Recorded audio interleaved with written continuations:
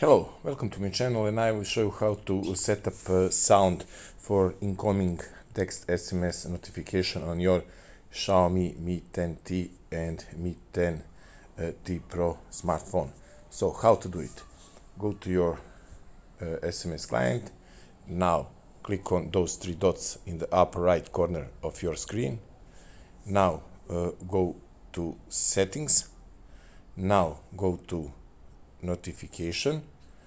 When you are in notification uh, menu scroll down and type on incoming messages.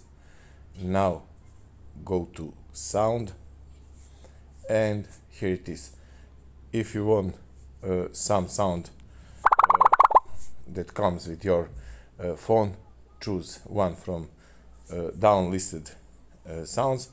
And if you want uh, some sound that you are uh, imported to your uh, phone.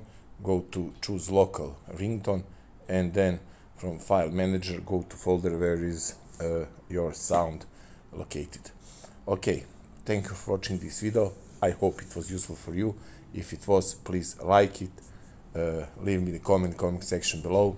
And of course share it with your friends. It means a lot to me